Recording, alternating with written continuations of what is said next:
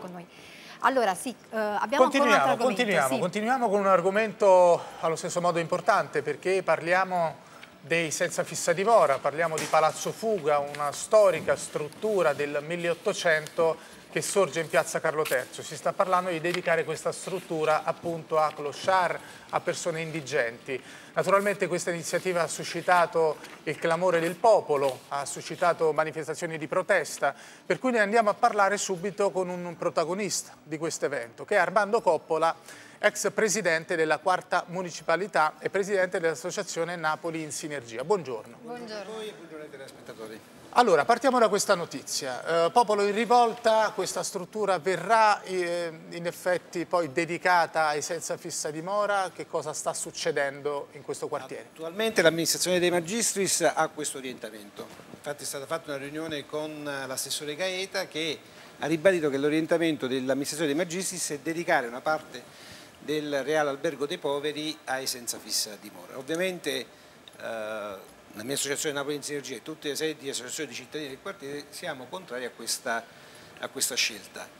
Eh, lei ha detto che risale al 1800, nasceva come albergo dei poveri quando eh, Piazza Carlo III era periferia del, di Napoli capitale, Piazza Carlo III è parte integrante del centro storico di Napoli, eh, avere questa concentrazione di senza fissa dimora non ha, più, non ha proprio il senso storico, oltre che sociale eh, per avere un'integrazione eh, dei senza fissa dimora la cosa migliore sarebbe quella di distribuire, si parla di 140 eh, persone, poi bisogna andare a turnazione perché si parla di odierna, cioè di mh, eh, diurna, cioè nel senso vanno là per lavarsi, mangiare. Quotidiana, insomma. Quotidiana. Non credo che eh, questo sia il, la, la, la, cosa giusta. La soluzione. La soluzione Qual giusta. è la soluzione secondo lei? La soluzione migliore è, per quanto riguarda i senza fissa dimora, dare i soldi alle case famiglia, distribuire quindi senza fissa dimora sul territorio, perché 140 persone in un luogo creano un problema, 14 persone in un luogo eh, non si vedono e non si sentono. Tra l'altro questo colpisce anche la dignità di chi in quel momento è senza, senza fissa dimora. Eh, Io... Intanto questo, questo dei senza dimora e dei senza tetto è un argomento molto delicato perché è comunque eh, storia eh, saputa che insomma vogliamo dire anche al nostro pubblico eh, di alcuni che eh, subiscono dei maltrattamenti, delle violenze come quello della, della clochard tiziana. Ecco, come come questo, può, questo è proprio il problema per il fatto che eh, il Comune di Napoli non stanzia soldi per le case famiglia perché se le case famiglie avessero i soldi, i senza fissa dimora potrebbero essere messi in queste case famiglia, quindi anche la notte.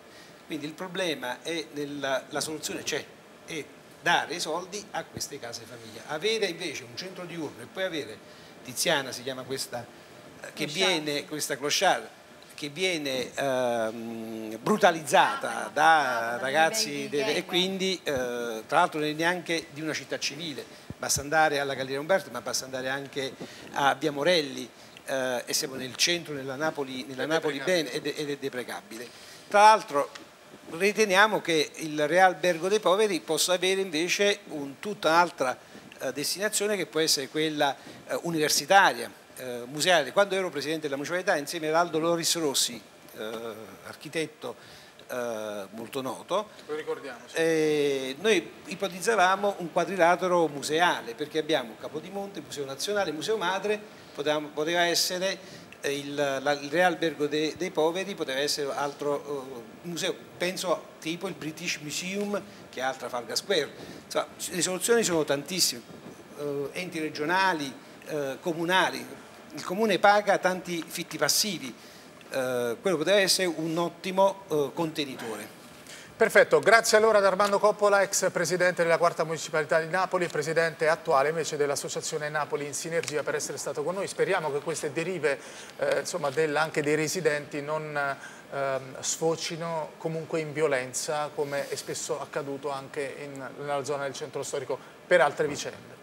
Guardi, credo che eh, quando c'è il buonsenso non, non si arriva mai alla, alla, violenza, la violenza è sempre deprecabile, esatto.